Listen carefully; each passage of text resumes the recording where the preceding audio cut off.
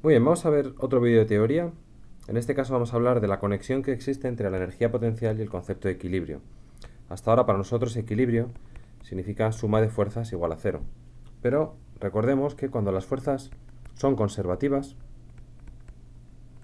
tenemos una conexión entre el trabajo de una fuerza conservativa y la energía potencial, o mejor dicho, la variación de energía potencial. Así que podemos explotar la idea de que la energía potencial, como una función variable, por ejemplo, de la posición, eh, está relacionada con la fuerza conservativa y esa conexión que existe entre las dos. ¿vale? De hecho, fijaos que si escribimos esto de manera discreta, lo que tenemos es que un pequeño cambio en la energía potencial es un pequeño cambio en este trabajo menos f por diferencial de x. Así que si pasamos dividiendo diferencial de x, lo que nos queda es que en una dimensión esta fuerza conservativa se puede poner como menos la derivada de la energía potencial con respecto a x. Eso en tres dimensiones ya lo veréis en cálculo, lo generalizaréis, y veréis que el vector fuerza conservativa es menos este operador que se llama gradiente, que nos vamos a hinchar de, hablar de él en el segundo semestre, el gradiente de la energía potencia. ¿vale? Así que cuando yo tengo una derivada y quiero que esa derivada sea cero, eso tiene que ver con el concepto de máximo y mínimo en cálculo. Así que, como digo, vamos a explotar esa dualidad.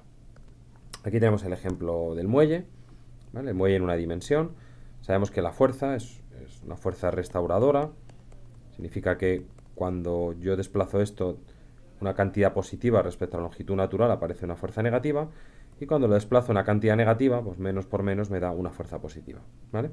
Como esto es una fuerza conservativa, bueno, pues se cumple esta propiedad. Bien, en otros casos, ¿de acuerdo? Este sería el caso de la energía potencial del muelle, ¿vale? Que sabemos que es un medio de kx cuadrado. Imaginaos un antimuelle, bueno, un antimuelle sería un muelle en el que cuanto más lo estiro, más me empuja. ¿vale? Eso sería una estación inestable, porque cualquier cambio respecto a la posición de equilibrio me llevaría al infinito. Y eso es lo que se ve gráficamente con este tipo de diagramas. Si yo pongo aquí una masa, esto fuese un tobogán, bueno, pues cualquier pequeño movimiento en el tobogán hace que esto se vaya de aquí. ¿vale? En cambio, con el muelle, cualquier perturbación, si yo empujo un poquito esta bolita, pues volverá. De hecho, estaría como oscilando en torno a esta posición. A esto se le llama un punto de equilibrio estable y a esto se le llama un punto de equilibrio inestable. ¿Vale? En ambos casos tengo una pendiente cero, ¿de acuerdo? En ese punto, es decir, la derivada primera es igual a cero y eso significa que la fuerza es cero. ¿vale? Por eso esa conexión entre equilibrio visto como fuerzas y equilibrio visto como energías. Por otro lado, sabemos del cálculo que si la derivada segunda de una función es mayor que cero, pues entonces se trata de un mínimo, ¿vale? Y para nosotros mínimo significa estable. Y si la derivada segunda de una función es, perdón, menor que cero, esto es un máximo en la curva, máximo local, y para nosotros significa inestable.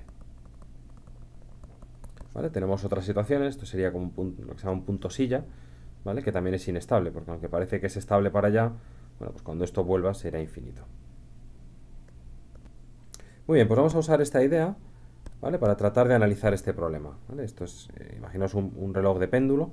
¿vale? Aquí tenemos dos masas, dos contrapesos, que van a tener masa m. Y aquí tenemos el reloj, o la masa principal, que vamos a llamarla m minúscula. ¿vale? Entonces nos están diciendo, en función de esta distancia y, ¿vale? determinar cuánto vale la energía potencial del sistema. Y luego, para qué valor eh, el valor de I para el que la energía potencial es mínima. Es decir, nos están pidiendo cuál es el valor de equilibrio. Por otro lado, nos dicen, bueno, comprobar además por la ley de Newton, ¿vale? Que si cogemos esta Y que hemos calculado, bueno, pues la suma de fuerzas es cero. Y eso es lo que, lo que digo, ¿no? Tenemos esas dos posibilidades. Podemos decir que equilibrio significa energía potencial cero, ¿vale? o, o derivada, mejor dicho, cero. O podemos decir que equilibrio significa suma de fuerzas igual a cero. Así que vamos a ver que las dos cosas son equivalentes. Y por último, nos van a pedir si determinar si ese punto es estable o inestable. Y eso lo vamos a hacer de dos maneras. Vamos a ver cuál es el signo de la derivada segunda y luego vamos a pensar un poco ¿vale? si tiene sentido en términos de fuerzas. ¿vale? Así que bueno, vamos allá.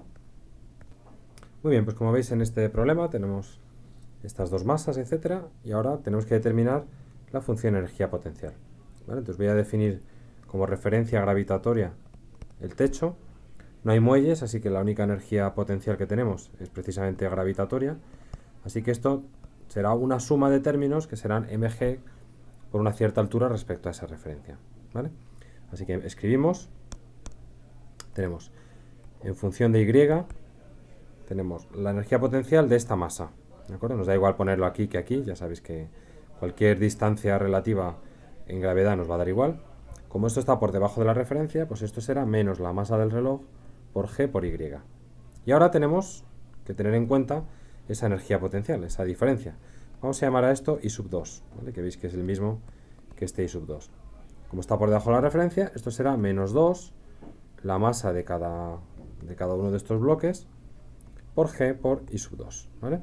Pero I sub 2 no es independiente, I sub 2 es una función de y. ¿Cómo calculamos esa función? Pues usando la ligadura. Fijaos que la longitud de la cuerda es constante, vamos a llamarla simplemente L, así que L lo podemos medir como este trocito de aquí, que es I sub 2, más este trocito de aquí, que es otra vez I sub 2, más dos veces esta hipotenusa. Así que es más dos veces, y fijaos que esto es un triángulo rectángulo, por tanto dos veces raíz cuadrada de d cuadrado más i cuadrado. Total, la longitud de la polea será 2i sub 2 más 2 raíz de d cuadrado más i cuadrado. Despejamos i sub 2 y tendremos que i sub 2 es igual a L medios menos raíz de d cuadrado más i cuadrado. En realidad, como esta nos la hemos inventado, nos da igual cómo se llame. Y sustituyendo arriba, tenemos que la función energía potencial será menos m pequeña gi menos 2 mg por i sub 2, que vale L medios menos raíz de d cuadrado más i cuadrado. Que como veis, es una función que depende solo de y. Bien, antes de seguir, vamos a pensar algún caso límite. Cuando d va igual a 0, es decir, ponemos aquí un 0, pues entonces tendríamos la raíz de y cuadrado que es sí, y nos quedaría, cuando d tiende a 0, algo así como menos mgy menos mgl más 2mgy. Lo cual está bien, porque fijaos, este signo y este signo son diferentes, porque cuando esta masa baja, esta otra sube. Así que los cambios en, Y se reflejan de manera distinta. Y veis que en cualquier caso tendríamos como MGH. Así que reducir esto a cero es como tener un sistema en el que solo tenemos movimiento en un sentido. También es interesante fijarse en este 2. Ese 2 tiene que ver con la ligadura. Como este está viendo la mitad de la cuerda por cada lado, bueno, pues el movimiento de estos bloques y el de este están corregidos por un factor 2. Así que de nuevo tiene, ese límite tiene bastante sentido. Bien, ya tenemos nuestra función. Ahora nos piden calcular el valor de i para el cual la energía potencial del sistema es mínima. ¿Cómo hacemos eso? Bueno, pues muy sencillo. Cogemos nuestra función y calculamos la derivada con respecto a y. Esto nos dará menos mg menos, esto es una constante, así que menos por menos más, 2mg por la derivada de esta raíz que será 1 partido por la raíz de cuadrado, perdón, por dos veces la raíz, por la derivada de dentro, que es 2i. Este 2 y este 2 se van, y lo que nos queda es menos mg más 2mgy partido por raíz de d cuadrado más i cuadrado. Si ahora hacemos que esto sea 0, esto nos da la condición de equilibrio, y por tanto tendremos una ecuación que es menos mg más 2mgy partido por raíz de d cuadrado más i cuadrado igual a 0. Vale, perdóname que siga por aquí. Ahora, si pasamos mg al otro lado, tendremos, bueno, la g se cancela, de hecho, tendremos m igual a 2y partido por raíz de d cuadrado más i cuadrado m mayúscula, elevamos al cuadrado y tendremos m cuadrado igual a 4 y cuadrado, m mayúscula cuadrado, partido por d cuadrado más i cuadrado, pasamos eso allí, y nos queda m cuadrado por d cuadrado más i cuadrado, igual a 4y cuadrado, m cuadrado, pasamos la y al otro lado, tendremos m cuadrado d cuadrado igual a 4 m mayúscula cuadrado menos m cuadrado, todo por i cuadrado, y ahora despejando y sacando la raíz, nos queda md partido por raíz de 4m cuadrado menos m minúscula cuadrado. Bueno, nos ha costado un poquito, pero problema resuelto. Bien, esto es calcular el punto de equilibrio, ¿vale? esto va a ser en función de los parámetros, y utilizando esta relación entre la energía potencial y la altura.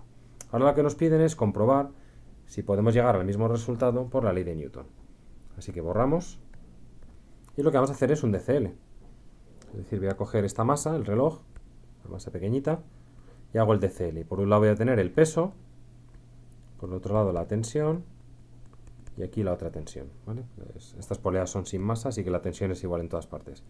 Y ahora para cada una de estas masas voy a tener el mismo DCL, así que solo hago una de ellas. Vamos a tener la tensión para arriba y el peso para abajo. Bien, si esto está en equilibrio, que es lo que estamos intentando estudiar, eso significa que la suma de todas las fuerzas sobre cada objeto es cero. Así que de este diagrama del cuerpo libre sacamos que la tensión es igual a mg y en este pues tenemos que hacer un poquito de trigonometría. Si definimos ese ángulo como teta, tendríamos 2t coseno de teta igual a m minúscula g. Esto es teta y ahora el coseno de teta es cateto contiguo partido por hipotenusa.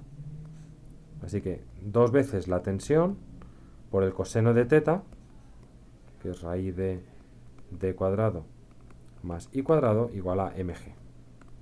Y ahora ya no sigo porque esta es la ecuación que teníamos hace un rato por aquí en la pantalla, ¿vale? que es la ecuación que hemos sacado derivando. Y que eso nos llevó a obtener esta relación. Así que si sustituyo esto, pues evidentemente voy a llegar a que esto es una igualdad. ¿vale? Y eso significa que la suma de fuerzas es cero. Así que tenemos dos caminos para calcular el equilibrio. Si conocemos la función de energía potencial, simplemente hay que derivar e igualar a cero, y si no, pues simplemente ver cuando la suma de fuerzas sobre un objeto es igual a cero. Pero las dos son equivalentes. Bien, vamos con la parte del equilibrio. Borramos otra vez. Bueno, he copiado de nuevo aquí la función de energía potencial. He copiado aquí también cuánto el valor de equilibrio. Y ahora voy a volver a hacer la derivada primera. Bueno, la he borrado. Menos mgi, esto era una constante. Así que esto me quedaba más 2mg por la raíz de i cuadrado más d cuadrado. Y luego había aquí un 2 de la derivada de la raíz y un 2 de arriba, así que por i. Hacemos la derivada segunda. Y nos queda la derivada de esto es 0 más 2mg y ahora tengo la derivada de un cociente que es derivada del numerador por el, el denominador sin derivar menos el numerador por la derivada del denominador que va a ser i partido por raíz de i cuadrado más d cuadrado por el denominador al cuadrado, que se quita la raíz. Vale. Ya tenemos una ecuación y lo que nos piden es ver el signo de esta ecuación. Bueno, y sin hacer todos los cálculos en detalle, si cogéis el numerador, porque el denominador es positivo, si cogéis el numerador y sacáis factor común, nos va a quedar raíz de i cuadrado más d cuadrado por esa raíz que pasaría allí, o sea, otra vez lo mismo, menos i por i, que es i cuadrado. Y esto es i cuadrado más d cuadrado menos i cuadrado, que es mayor que cero porque esto es igual a d cuadrado. Moraleja, la derivada segunda en el punto de equilibrio ¿vale? Es mayor que cero. De hecho, no hemos tenido que sustituir el punto de equilibrio, pero bueno, es mayor que cero. Por tanto, es un equilibrio estable. ¿Vale? Pero esto son matemáticas. Y a nosotros lo que nos gusta es la física. ¿De acuerdo? Así que lo que tenemos que ver es si esto tiene sentido. A ver si ese punto de equilibrio tiene sentido que sea estable. No sabemos dónde está, pero bueno, imaginemos que fuese este punto, el del dibujo. Si yo lo pinto arriba del todo, y ahora me llevo el sistema y dejo esto recto, aquí tendría m grande, m grande y aquí colgando la m pequeñita, ¿vale? Pues es evidente que esto va a caer hacia abajo. ¿Por qué? Porque sobre esta masa, sobre este punto, tengo dos fuerzas horizontales que son la tensión y una fuerza vertical. No hay nadie que lo compense por arriba. Así que este objeto desde aquí va a caer seguro. Así que el movimiento esperado sería ese. Si nos ponemos en otro extremo, imaginaos que ahora tenemos las masas pegaditas arriba y la polea está muy abajo. La polea está muy abajo. Esta es M y estas son las grandes. Pues evidentemente, como estas masas son muy gordas, y esto es casi vertical, porque esto nos lo hemos llevado, digamos, a infinito, pues esto casi, casi, recordad que la tensión era muy parecida, bueno, era de hecho mg, esto casi casi va a ser como una tensión neta hacia arriba que es 2 mg. ¿vale? Como estas son más grandes que la pequeñita, pues entonces van a ganar la tensión al peso. Así que si esto es horizontal, gana el peso, si esto es muy vertical, gana la tensión, por tanto, aquí tendería a ir hacia arriba, aquí tendería a ir hacia abajo, por tanto, por el teorema de Bolzano, habrá un punto en el que no tenderá a ir ni para arriba ni para abajo. Ese punto será el punto de equilibrio y además será un punto de equilibrio estable. ¿Vale? Esto es física, ¿vale? Matemáticamente ya sabemos que el punto está ahí. Así que bueno, problema resuelto.